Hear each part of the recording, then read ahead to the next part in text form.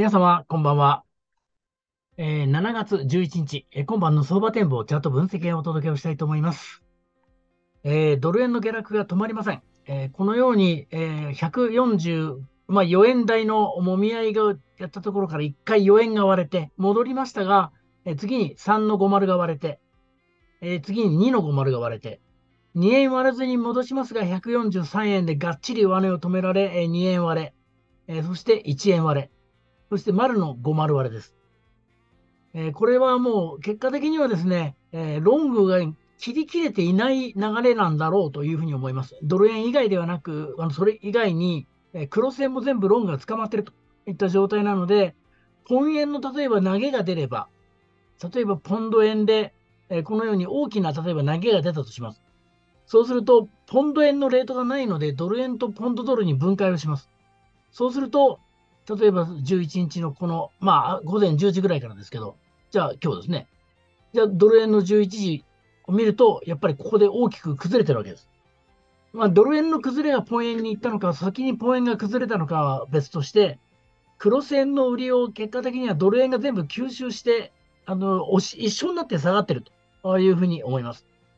まあ、従いまして、多少の戻りはあるものの、えー今であれば、141円アッパーの戻りを待つのではなくて、その手前で一回売って様子見なんだろうというふうに考えます。えー実際にドル円は、今日はですね、まあ、140円の、えー90で、えー売りのイメージを作りました。このあたりですね。140円の90の、えー戻り売り。えーそして、えー利食いを140円の35銭。これはあの別にチャートのポイントではないんですけど、大体その50割れて、今日140円を突っ込む過程でもしかしたら140円割れてしまうかもしれませんけど、もし割れないのであれば、3525ゾーンぐらいで止まって戻ってくるっていう可能性も高いかなという気はしておりまして、えー今日は140円の35というイメージが湧きました。利食いとして。あと、えーストップは141円の20。ちょうどこの時間足のボリンジャーバンドのセンターラインが来てるところですが、これを超えていくようであれば、まあ、時間とともにこれ、あの、どんどん下がりますけどね。それでも一応141円の20が超える場合は一回やめようと。まあそのようなイメージで見ております。ユーロドルです。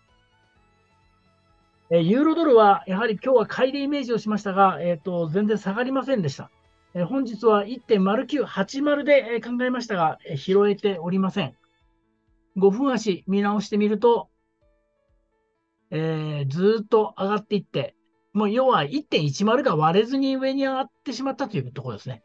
まあ、多少のポジションの反落がある可能性もあるので、えー自分とすれば1.09の今日は90で、えー押しがあったら買ってみようかというふうに思っております。ここですね。で、えー利食いを1.10の、えー20で、あとストップを1.09の70で考えております。えー次は、ユーロ円です。ユーロ円も基本的には戻り売りで考えていかざるを得ないかなというふうに考えています。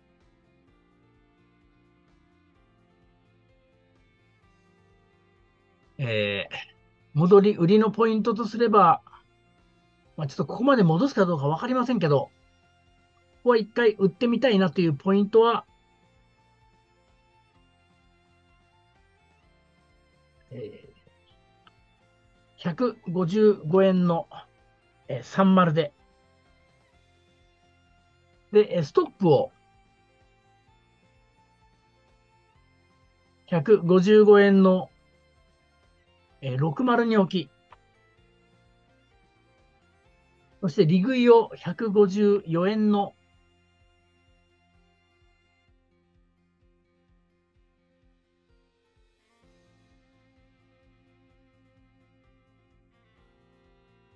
まあ、4円の、まあ、6号ぐらいですかね。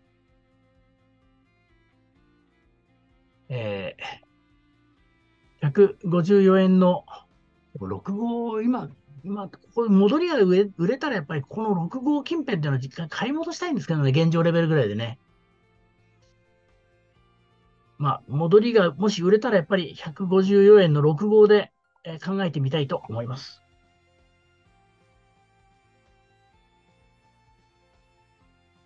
えー、ポンド円です。あ先にじゃあポンドドル見ましょう。えー、ポンドドル、えー、1.28の、まあ、この60あたりですかね。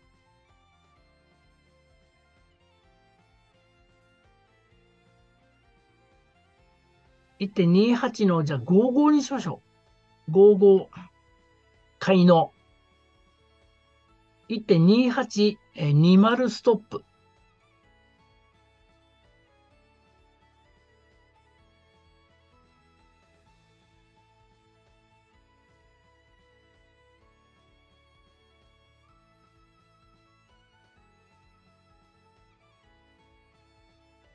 えー、あと、利食いを、そうですね。ンドドル、4時間足、8時間。全然見えないな。やっぱり冷やしてみても見えないかな。やっぱり冷やしてみても見えません。月足。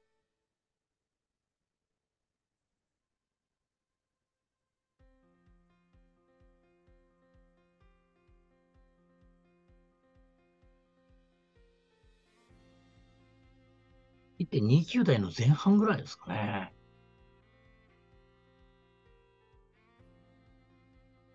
今13まで上がってますからね。1.1930ぐらいにしておきますかね。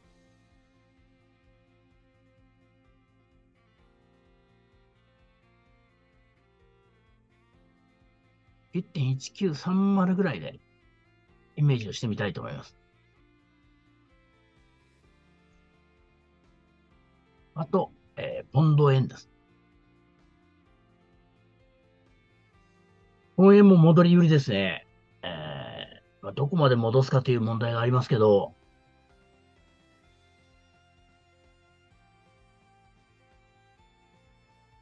えー、181円の45銭。売りで。181円のこれは80ぐらいですね。ストップを。81円の80で。そして、えー、ショートの利食いを180円の70で考えてみたいと思います。ストップ、えー、181円の80で。はい。もらいました。あドル円がまた5丸を割れて、えー、戻れないで今定着しそうですね。次、えー、OG ドルです。いらない線を消しておきます。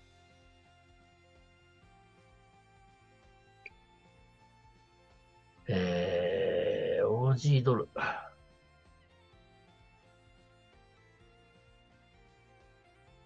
0.66のえー、0.6645。あれ。0.6645で買いよう。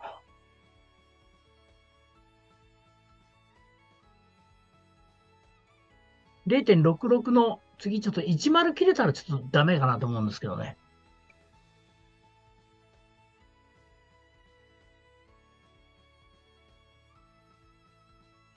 0.6610。それと、利食いを0.67、えー、ちょうどで考えてみたいと思います。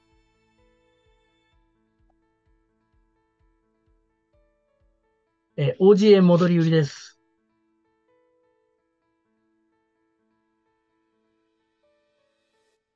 まあ、売れずに落ちてしまうという可能性も当然あるわけですけど、まあ、ここでショートを振って、え、ずっとホールドするかというと、まあ、あ、まりホールドしたくないんで、戻りがあれば売るスタンス。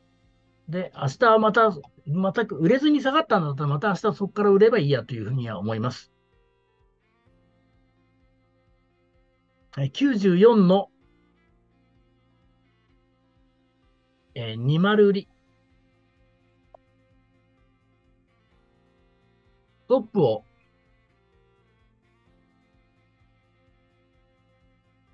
えー、94の、えー、このところ55において、利食いを93の70で考えてみたいと思います。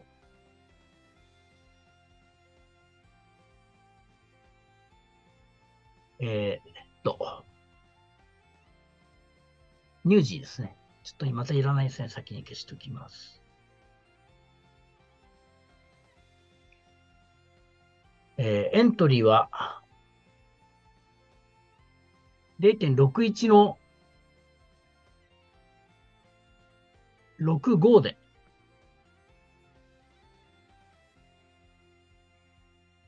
0.6165エントリーの0.61 6130でストップを。利食いを0.62の、えー、25で、あ、20でもいいか。すみません、20にします。0.6220で考えてみたいと思います。ニュージーエンです。まあ、これももう完璧に売りですね。えー、これも難しいところだけどな、あんまり深くは戻さないんでしょうけど、87の40戻り売りで、あとストップを。87の75で。あと、利食いを、えー、80、すいません。当てずっぽうに行ってもしょうがない。86の、えー、っと、85で考えてみたいと思います。今のは、えー、ちょうどニュージーエンの4時間足のこの200移動平均線が上がってきたあたりで利食いをするというイメージでございました。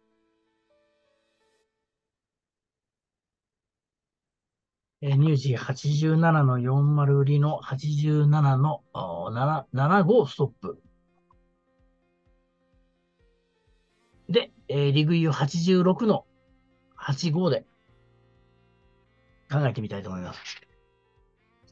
えー、なかなかこれだけ急激に、えー、通貨がすべて下がってきていると、まあ、当然、売りをくれた人たちもいて、えー、かなり、え、ロングポジションが上で捕まってる。え、まだ断末魔の売りにはなってないのかなと思うんですけど、えこちらの方が、あとちょっと冷やしを見たいと思いますけど、本数減らしますね。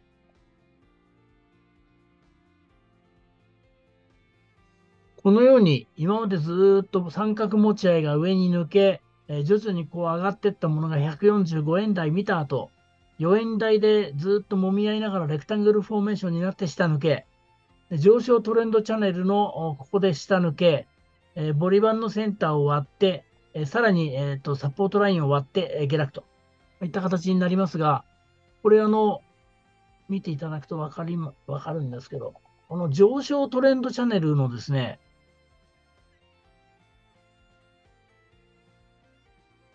この129円の64から引いてきてるサポートラインが140円ぐらいにあるんです。これわかりますかね？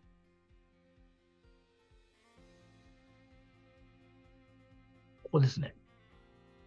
だからその140円が割れてしまうと、この上昇のチャンネルも割れたことになると、まあ、ここは一回戻ってはいますけど、これが戻らずに、ヒゲで終わらずに、実体部分でこれを割り込んだということになると、今度はじゃあどこまで138の50なのか、えー、あとは137円なのか、まあ、どこまでいくか、これはまだ言ってみないと分かりませんが、流れからいくと、明らかにその今までやっていた上値攻めが終わってしまい、このわずか3日で144円から140円に肉薄するという急落してると。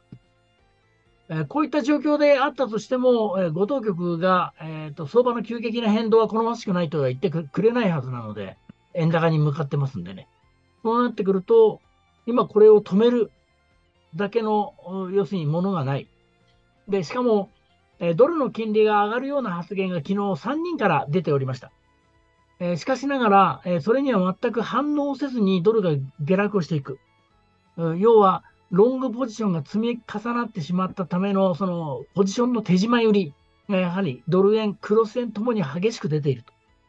そうなってくると、140円で止まるかもしれませんが、止まらなかった時っていうのは、今度どこまで下値を見なきゃいけないのかっていうのははっきりしません。混沌とした状況になります。まあ、従いまして、リスクとしては今は上ではなくて、やはり下を見ざるを得ないだろうなというふうに考えております。えー、戻り、えー、本日、えー、140円の90ぐらいに売りを置きつつ、売りを置きつつですけど、もしこれが、えー、戻らなかった場合に、じゃあ140円の6575ぐらいでも売ってみるのかどうか。えー、一回上がってもみ合いを続けて崩れ始めてから後を追っかけて売るというような形で、えー、ショートを振ってみるということがよろしいのではないかというふうに考えております。今晩の相場展望チャート分析編、この辺で失礼させていただきます。どうもありがとうございました。それでは失礼します。